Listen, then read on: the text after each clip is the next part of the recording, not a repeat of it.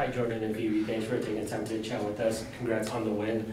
Um, but yeah, just overall thoughts on getting back into the win column and snapping that uh, losing streak. Um, yeah, it's really exciting to be back in the win column. I think this was um, obviously very necessary for us if we want to stay in contention um, to make a run this off this postseason. So this was huge. Uh, Jordyn, you had to come in match kind of early, hop in. Uh, what are the challenges of that, uh, doing that when you're maybe expecting to come in as a sub at a later stage in the match? Um, yeah, I mean, when you're on the bench, you kind of have to be ready for anything, whatever your role is gonna take on, whether it's no minutes, whether it's from the first minute, you never know. So I think it's the mindset of always being ready, and I think that the team is always like that, and I think everybody on the bench would have been ready um, for that moment. Jordyn, kind of building on that, when you have such a long time, uh, when you guys are playing uh, up a player for 87 minutes and you have the quality that y'all have in front of goal, do you expect or wanted to, obviously you wanted to, but did you expect to have more goals or find more things going to the back of the net?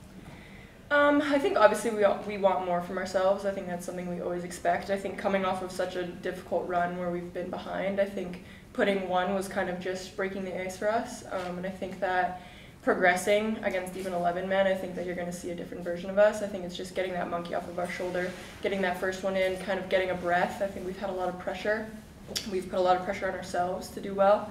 Um, so in order to just get one, I think we just needed a win. And I think one is, is good enough for a win, and that's what we needed. And we can keep creating a better version of ourselves moving forward.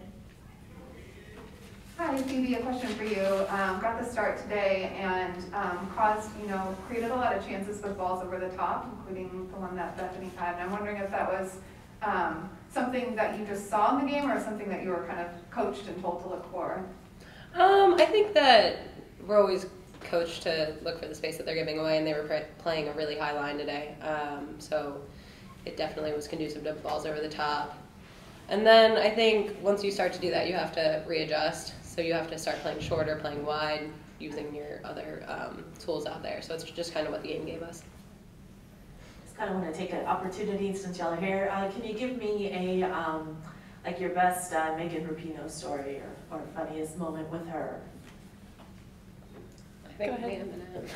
Hmm? Um, there's so many. Yeah, this is there's an arsenal. She's a riot. Everything she says is funny. You just sit at a table with her for 10 minutes and you're cracking up laughing the whole time. Manic Megan. Manic Megan. what was that? it's just a little team thing, man. Yeah, they're all inside yeah. it's like a very long, drawn out story to really get to the root of any of these. But she's just an amazing teammate, I think, yeah. on the field, off the field.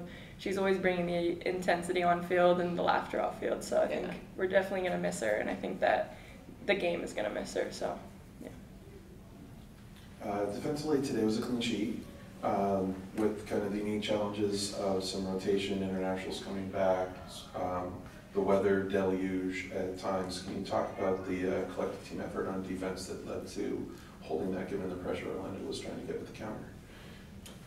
Yeah, I think we had to do some adjustment after um, they went down a player. It's obviously not um, the game plan that we had planned for, so we had to see where they shift and shift accordingly. Um, I think communication was huge for us today. I think we were really communicative in every third of the field, um, and I think that really helped us take care of their transition because we were very organized um, when we had possession in their attacking third, or in our attacking third rather.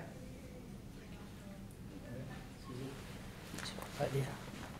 Um, we, Claudia Dickey got her second start in the regular season. You've obviously had a chance to play with her in um, the Challenge Cup, but how does that change you what you are doing defensively? Um, maybe not having as much time with her as you have had with Fallon. Um, I mean, personally, I probably had more time with Claudia than I've had with Fallon just from practices and everything. Um, and she and I have a really good relationship both on and off the field. I think Jordyn would echo that. Um, and is a great player. She um, is super comfortable with her feet. She wants the ball, um, and she's a freak athlete. She will pull some crazy saves out of her ass. So I'm, I'm just we're lucky to have so many options there. All right, that was it. Thanks. Thank Thanks, guys.